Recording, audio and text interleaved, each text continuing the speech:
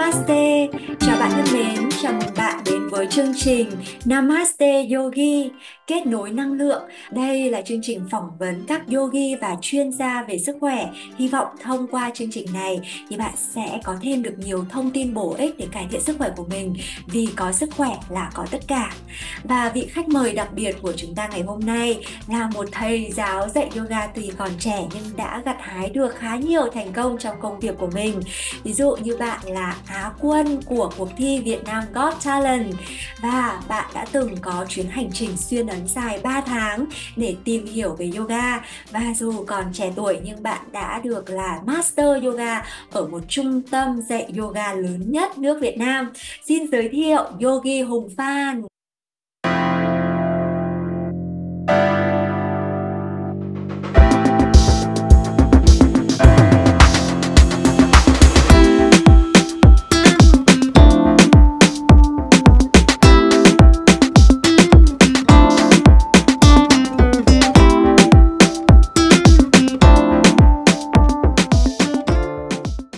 Namaste. Rồi lại là Henry đây. Henry xin chào cả nhà cũng như là à, các à, mến yogi cũng như các bậc thầy thân mến. À, Yogi Hùng Phan có nhớ là chúng ta đã gặp nhau như thế nào không? À, có chứ ạ. Thượng đã liên lạc từ hồi dịch dịch rồi nhưng mà vẫn chưa có duyên gặp uh, gặp mặt. Thì cách đây uh, một năm thì tham dự một cái uh, festival mùa hè uh, lớn ở tại Sài Gòn và đã gặp trực tiếp chị Sophie và cái năng lượng của chị và uh, Henry cảm nhận là một người rất là hòa đồng. Uh, gần đây nhất thì Henry gặp chị Sophie vào uh, tháng uh, năm vừa qua cùng sang uh, cháu ông tổ để học về Astanga à, buổi workshop ở Bangkok hồi tháng năm vừa rồi tham dự đại hội Astanga à, của thầy à, Sarah Choi thì Sophie đã có dịp để tiếp xúc cũng như là trò chuyện với Yogi Hùng Phan nhiều hơn. À, đi Bangkok về thì Sophie và Henry à, liên tục có những uh, buổi gặp gỡ để nói chuyện về nghề, nói chuyện về niềm đam mê yoga. Vì thế hôm nay Sophie có một vài câu hỏi đó để như là giới thiệu Henry với cộng đồng à, theo dõi kênh Yoga by Sophie Henry nhé. Chắc chắn rồi ạ. À, À, mời bạn uh, chia sẻ về bản thân mình này, họ tên đầy đủ của mình là gì, bạn bao nhiêu tuổi, bạn đến từ đâu và món ăn yêu thích của Henry là gì. Thì uh, họ tên của thật của Henry đó là Phan Văn Hùng. À, mọi người hay gọi là Henry nha. Thì uh, Henry uh, quê ở tại Nam Đàn, Nghệ An. À, à, quê nội quê ngoại đều là ở Nam Đàn hết là Nam Anh và Nam Yên, à, cách nhà bác có ba cây số thôi. Đó. à, à, món ăn Henry yêu thích đó là à, những món liên quan tới salad và những món đặc sản ở tại à, trái cây ở miền Nam như là bơ, sầu riêng. Đó thì đó là khi mà Henry mong muốn vào miền Nam bởi vì miền Bắc mình sẽ phải ăn ăn ăn trái cây theo mùa là phải lựa mùa để ăn. Nhưng mà vào trong miền Nam thì sự là Henry thoải mái à, ăn uống và cũng như là mình, mình tập luyện để là à, cơ thể mình khỏe hơn và ăn uống để chuyển hóa chất để cho mình luyện luyện tốt hơn và lúc đó Henry không có bị phải ăn theo mùa và ăn theo lựa chọn trái cây quá nhiều nữa. À, cảm ơn chia sẻ của Henry. Được biết Henry ngoài tập yoga ra bạn còn là một võ sĩ môn phái Vịnh Xuân Quyền À, đúng không Henry? Anh trai của Henry là người tập Vịnh Xuân và lúc đó thì qua quãng thời gian Henry cảm nhận anh trai tập luyện và Henry lại uh, mỗi người lại có một cái thế mạnh riêng thì lúc đó lại Henry lại đi chuyên sâu về mảng binh khí. Côn nhị khúc đúng không? Là một môn yeah. Dạ. sử dụng binh khí. À, vậy là trước khi tập yoga thì bạn tập võ, thế còn trước khi đi dạy yoga thì Henry làm nghề gì vậy? Trước khi Henry đi uh, hướng dẫn yoga thì uh, Henry đã có một quãng thời gian Henry làm nhân viên ngân hàng của ACB là bộ phận là tín dụng của doanh nghiệp rồi vừa học trường kinh tế quốc dân à, làm việc về ngân hàng thì mình có một cái đó là Henry bị à, vấn đề về mãn tính dạ dày. Thời buổi sáng mình đi làm mình chưa ăn uống gì hết sếp bảo là ăn uống rượu ly rượu ấm. Rồi lên làm cái cuối cùng Henry cũng phải ngại sếp thì bảo là thôi nhấp môi một ly đúng không? Nhấp môi xong thì lên cả ngày đó là say sẩm mặt mày luôn tại vì chưa ăn uống gì cả. Tình trạng của mình càng thêm nặng nề à, tập luyện yoga và chỉ đơn giản buổi sáng ngồi xoắn thế này.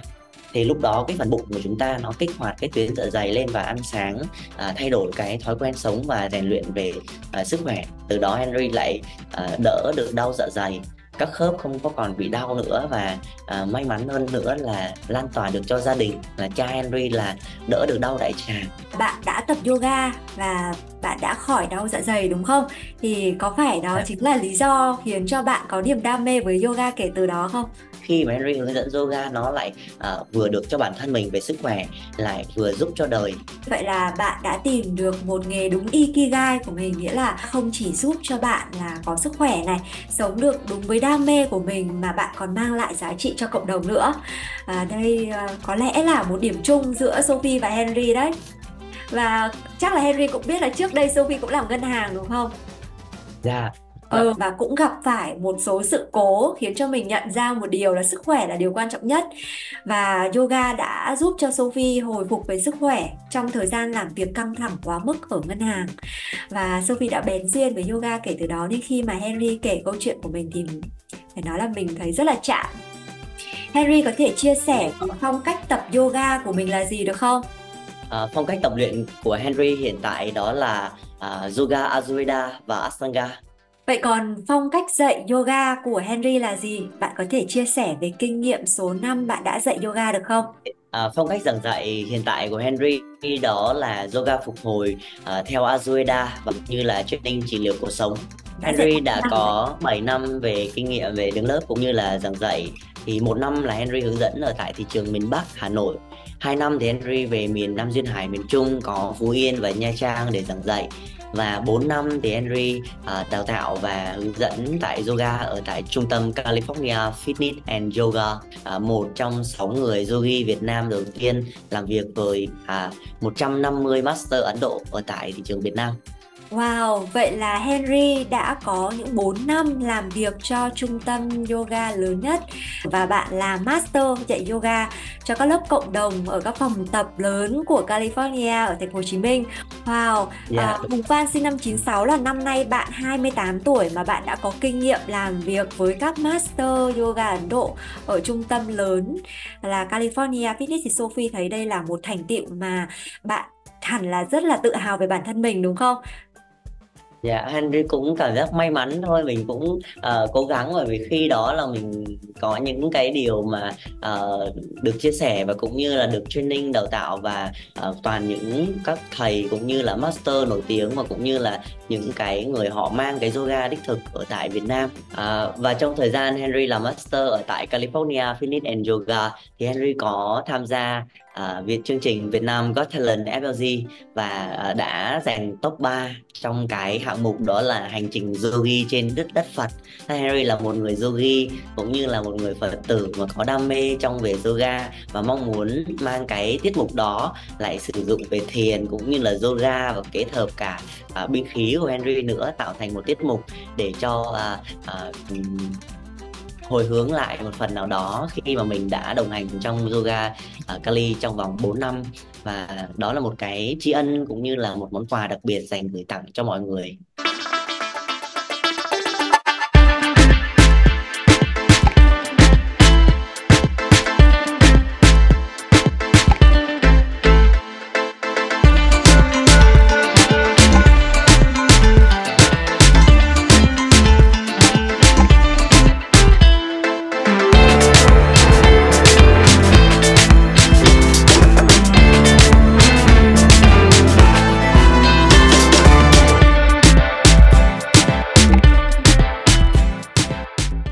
Vừa rồi là trích đoạn video Henry đã thi Việt Nam Got Talent và giành giải à, Á quân, đúng không? Là một à, giáo viên yoga và lại là một võ sư chơi cô nhị khúc thì hẳn là Henry có nhiều tài lẻ như vậy thì sẽ có rất là nhiều bạn gái theo đuổi, đúng không?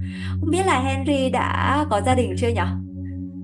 Uh, hiện tại thì Henry chưa Henry vẫn đang độc thân ạ trong tình trạng độc thân ạ à, chưa có gia đình và uh, đang mình đang nghĩ là tuổi trẻ mình đang khởi nghiệp và cũng như là uh, mong muốn uh, sử dụng những cái tài năng của mình và giống như trong cái cuốn hành trình của người giả kim cũng vậy. Khi mà tài năng và cái uh, trời phú cho mình cũng lại ở sinh ra một cái nơi thực sự là uh, gán đá chó sỏi luôn đó là đất gió lào uh, miền trung. Thì chính nhờ cái sự nghị lực đó đó mà Henry mong muốn mình lan tỏa hơn nữa tới cộng đồng Việt Nam và cũng như là giúp các bạn yogi Việt Nam an toàn tư thế và xóa tan những hiểu lầm về ép dẻo ấp cứng trong yoga. Và thực ra là nếu mà may mắn thì quan trọng đâu phải ở mỗi mình đâu mà cũng phải uh, cái đối tác của mình có thực sự muốn không? Còn với Henry cũng nghĩ đơn giản thôi thì chị Sophie bây giờ cũng còn độc thân thì Henry vẫn còn phải chơi đúng không chị? Henry trả lời rất giống uh, chị... các em em họ của chị khi mà Sophie hỏi là thế bao giờ thì em lập gia đình? Thì các em luôn nói là thế chị bao giờ? Chị trước em đi rồi. Tại vì chị lớn tuổi hơn em mà. Đúng rồi. rồi chị thì cũng đã gửi tín hiệu đến vũ trụ rồi. Kino cô à. Kino á đó là chị cũng bảo là cô Kino cũng đã lấy chồng rồi và đấy ai làm yoga thành công là người ta đều uh, tề ra và người ta có uh, người đồng hành với mình bên cạnh và cùng support mình đi lên thì bây giờ mình chưa có thì coi như là mình đang partner với nhau và mình teamwork với nhau để chúng ta có thể tạo lên những cái điều uh, kiệt tác và giá trị đích thực cho cộng đồng là một giáo viên dạy Ayurveda yoga và đã từng có hành trình sang đất Ấn Độ để tìm hiểu về yoga vậy thì uh, Henry có thể chia sẻ một điểm khác biệt của Ayurveda yoga so với các phong cách dạy và tập yoga khác được không? Ayurveda nó là chính chúng ta chính chúng ta nghĩa là tại sao có một số bạn à, thích stretching hay là ép dẻo nhiều nhưng mà vào một cái lớp power yoga lại không tập được thì Ayurveda cũng là một cái phương pháp tập để chúng ta lựa biết cách lựa chọn được phong cách nào phù hợp với bản thân chúng ta Vậy là Ayurveda Yoga sẽ hướng dẫn chúng ta tìm ra phong cách tập yoga phù hợp với thể trạng của mình phải không ờ, Yogi Hùng Phan? Theo về phương pháp pháp Ayurveda trong phục hồi yoga thì chúng ta sẽ dựa trên ba tạng người trong yogi tập luyện yoga.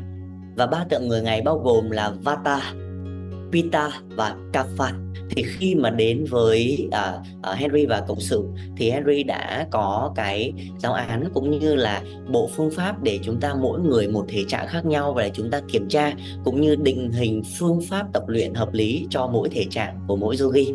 Cảm ơn Yogi Hùng Phan. Sophie cho rằng là uh, với cách tiếp cận của Ayurveda yoga như vậy thì sẽ khiến cho người tập cảm thấy là uh, mình được tập đúng bài này, đúng không? Và mình có thể đạt được hiệu quả đạt được mục tiêu trong luyện tập của mình nhanh hơn và an toàn hơn.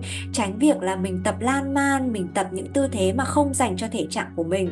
Hoặc nguy hiểm hơn nữa là tập những tư thế mà mình không nên tập và à, sức khỏe của mình có thể bị giảm sút do mình tập sai bài. Thế thì à, đây là một thông tin rất là hay. Cảm ơn uh, Yogi dạ. Hùng Phan đã chia sẻ. Thế những mà bạn học viên mà muốn tập yoga với Yogi Hùng Phan à, và tập Ayurveda yoga thì có thể tìm Hùng Phan ở đâu và Hồng Phan có những buổi workshop để chia sẻ thêm về Ayurveda Yoga cho mọi người không? Uh, hiện tại có thể các bạn uh, có thể lên uh, website cũng như là fanpage về à, uh, VC Yogi and Yoga Therapy ở tại Việt Nam cũng như là phòng tập của Henry ở tại Bình Thạnh để chúng ta có thể cập nhật được lịch tập và cũng như là uh, phương pháp tập và có những cái buổi kiểm tra về thể trạng. Uh, sắp tới Henry và cộng sự cũng đang uh, thiết kế một chương trình workshop chào đón hè yoga và Ayurveda cho người mới bắt đầu và các bạn có thể theo dõi thông tin về workshop và đăng ký để giữ chỗ ở tại à, cộng đồng của Yoga by Sophie với Henry. Xin cảm ơn Henry Yogi Hùng Phan đã tham gia chương trình Namaste Yogi, chia sẻ về niềm đam mê dạy và tập yoga của mình. Hy vọng những bạn đang xem video clip này à, có thêm thông tin và được truyền cảm hứng luyện tập yoga từ Yogi Hùng Phan. Hẹn gặp lại mọi người và hẹn gặp lại Yogi Hùng Phan trong những video clip tiếp theo. À, chúc các bạn thành công và mong rằng là chúng ta sẽ có duyên hội ngộ với nhau ở những workshop tiếp theo hay những số series tiếp theo của Namaste Yogi cùng với Henry và Yoga by Sophie. Namaste Yogi Hùng Phan, Namaste Yogi.